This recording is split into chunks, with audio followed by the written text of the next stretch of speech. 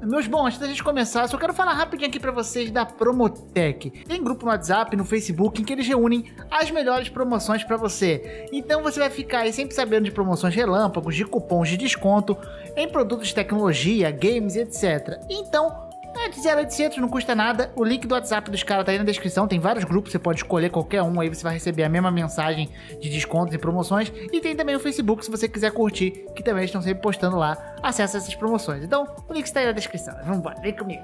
Fala meus bons, como vocês estão? Eu sou o Hades estamos aqui de volta para mais um vídeo. Hoje vamos falar de coisa que brasileiro gosta que é jogo de graça. Jogo de graça é bom. Na verdade, nem sou brasileiro. Qualquer lugar do mundo, a pessoa gosta de joguinho de graça, né? Que é, é bom. De graça tem a extensão da testa, né, meu jovem? Então, devido aos três acontecimentos que estamos passando recentemente, eu vou mostrar aqui pra vocês alguns jogos que ficaram de graça para poder ajudar a manter a galera em casa, pra galera ficar em casa jogando mais videogame, evitando sair por causa do período que nós estamos enfrentando aí de tretas. Então, vou falar aqui alguns joguitos que ficaram de graça para você pegar, dar uma olhada e aproveitar. Tem jogo mais basicão, tem jogo mais AAA da vida e etc. Então, tem variedade de joguitos aqui para vocês, beleza? Outra coisa que eu preciso mencionar é que é muito jogo de PC, tá? Os consoles, infelizmente, não liberaram praticamente nada de graça. Tá tendo promoção, por exemplo, na PSN. Tem ali os jogos do Xbox Game Pass, por exemplo, que é relativamente barato, né? Mas nenhuma dessas plataformas deram jogos estritamente de graça, pelo menos até o período deste vídeo. Então, se tiver jogos o suficiente para fazer uma atualização futura aí, eu faço uma parte 2 desse vídeo aí com mais jogos. E se caso sair um jogo pingado aqui e acolá, eu vou postar lá nos stories do meu Instagram ou no Twitter. Então vou deixar lá se tiver algum jogo de graça e aparecer de repente. Então me sigam aqui, ó. Um linkzinho aqui embaixo, delicioso. Para vocês ficarem ali um pouco mais antenados, sabendo o que vai vir. Então, enfim, né? Avisados, a maioria dos jogos aqui são de PC. E é isso. Então, vamos pro vídeo, deixa o like, se inscreve no canal, mesmo se não for ver o resto do vídeo, porque você não joga no PC. Mas é nóis, um grande beijo e vambora.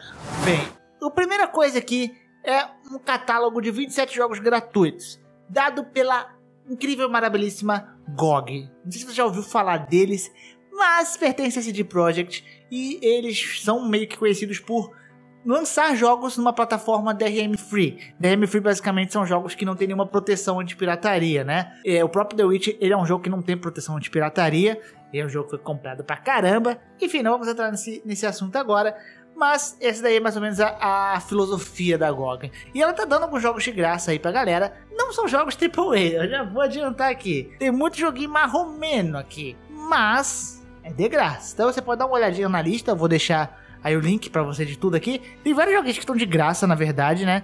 E a maioria deles são muito antigos, mas os que me chamam mais atenção, mais ou menos, seria o Shadow Warrior, por exemplo, que é o Shadow Warrior antigaço, né? E tem outras, outros joguinhos pingados, tipo Gwent, do The Witcher, que é um jogo mais atual. E tem também Última. Cara, você vai ver esse daí e vai falar, mano, que bagaço de jogo velho é esse? Pois é, aí que tá. Última, cara, eu tô recomendando esse jogo porque ele é simplesmente considerado um pai, um avô dos RPGs. Ele moldou muita coisa que os jogos de RPG viriam a ser hoje. Se você gosta de RPG, é legal jogar última pra você ver. Nem que você jogue, sei lá, meia hora pra ver como é que é o jogo. Porque o jogo é muito velho mesmo, é datado. É, é difícil jogar hoje em dia, eu sei, né?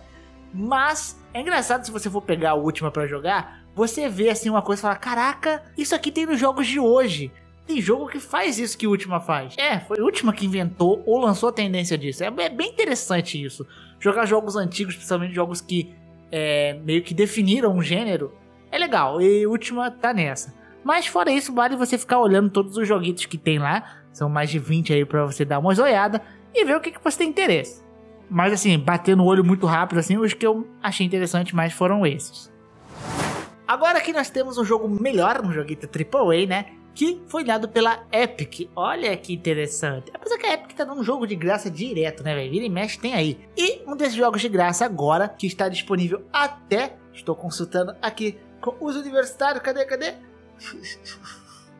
Até dia 26 de março, meio-dia. Então, amanhã até meio-dia para pegar. Se pegou, já era. É pra você pra sempre, tá? E um deles aí que está é o AAA Watch Dogs. Pois é, o Watch Dogs teve sérios problemitas no seu lançamento, né? Mas é aquilo. É um jogo que você saiu meio bugado, com problemas, e você espera o desconto.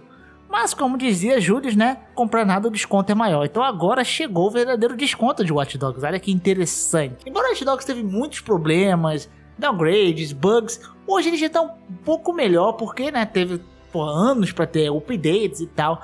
E agora dá pra você jogar, né? Por mais que o jogo teve aquele impacto negativo, muita gente deixou de comprar por causa desse impacto negativo. Agora é hora pra você ver se realmente o jogo vale a pena ou não. Pois é, você vai hackear semáforo. É muito estranho isso, né? Mas, enfim, Watch Dogs é um jogo particularmente legal. Se for de graça ainda, mano. É um jogo que a gente fala mal, assim, que ele teve problema, né? Que ele saiu bugado, saiu cheio de problema. Mas de graça já é outra história, né, meu jovem? E outro jogo que também está aí de graça junto é o Stanley Parable. Cara, esse jogo ele tem uma narrativa muito diferente. É basicamente você andando e conversando com o narrador. O narrador tem, tipo, uma lábia, uma, uma, uma, forma de narrar as coisas. É muito interessante. E talvez seja um dos jogos mais diferentes que você vai jogar. É sério, Stand Parable é estranho demais. A primeira vez que eu vi esse jogo, eu falei, cara, que jogo bizarro. E tipo, na verdade ele é bizarro mesmo. Acho que essa é a ideia dele, né? Então ele tem toda essa forma. É um jogo, tipo, talvez não para todo público, ele é um pouco mais parado. Você vai andar e ouvir, né? Tentar desobedecer o que o narrador fala com você. Ver esses conflitos é bem legal. Mas talvez não seja um jogo para todo tipo de público. Mas tá de graça. Então vai, filho. Outro jogo aqui, talvez esse aqui é o que eu mais gostei, que é o Child of Light, que ele vai ficar gratuito lá na loja da Ubisoft para PC. E Cara, como eu gostaria de ver isso aqui sendo de graça pros consoles também. Porque que custa, velho? Tipo, Shadow of Light é um dos jogos maravilhosos. Ele, ele, ele, é um pouco esquecido, né? Ele é bastante esquecido, na verdade. Mas é um dos jogos que eu joguei que eu amo esse jogo, praticamente. É um jogo que às vezes eu esqueço dele, mas eu, quando eu lembro dele, eu falo, cara, esse jogo é fenomenal. Porque, cara, Shadow of Light é um jogo não só artisticamente muito bonito. Na verdade, ele é muito artisticamente bonito. Tipo assim, é um jogo com gráficos belíssimos.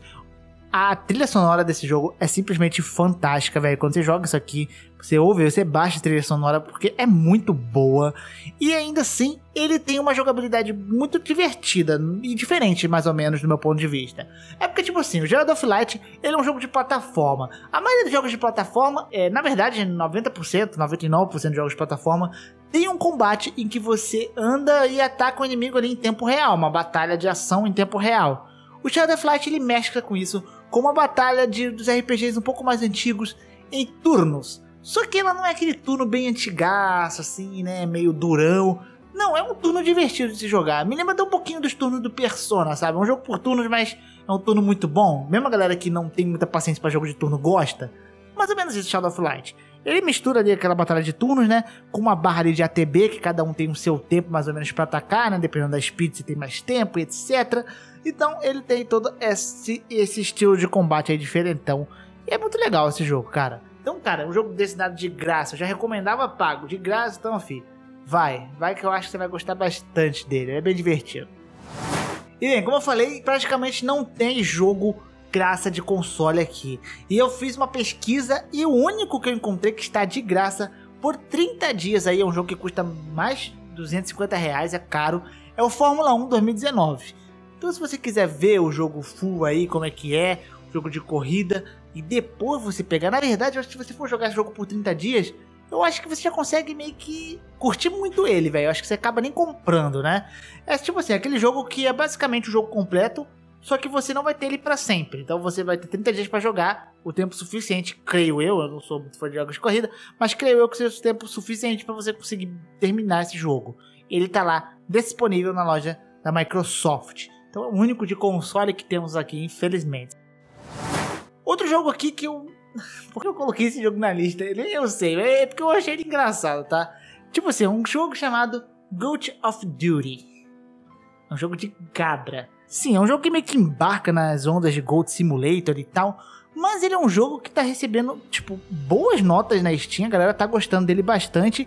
E ele mistura, né, como diz o nome, Call of Duty com cabritas. Então é um jogo ali de tiro, só que terceira pessoa com cabras. Eu acho que esse é o resumo mais legal que eu dei nesse canal aqui. Jogo tiro com cabras. Tem coisa mais interessante que isso? Acho que não. Mas, cara, ele tá de graça aí há alguns dias, mas você pegando ele dentro desse prazo é seu para sempre. E, mano, antes de quarentena, velho. Daí eu vou jogar jogo de cabra com tiro mesmo, velho. Eu fiquei interessado nisso aqui. E por último aqui, nós temos o Plague em. Eu acho que não seria um, um bom momento pra falar de um jogo de praga, né? Que você coloca uma praga, o seu objetivo é simplesmente aniquilar a humanidade. Talvez não seja o bom momento, talvez não. Porém, nós temos um bom motivo aqui. Pelo fato de que os caras desenvolveram um modo do jogo. Esse jogo ele é pago, mas esse modo eles fizeram de graça, que totalmente inverte o que esse jogo faz. Que ao invés de aniquilar, é você sobreviver a uma pandemia, o que é bem interessante.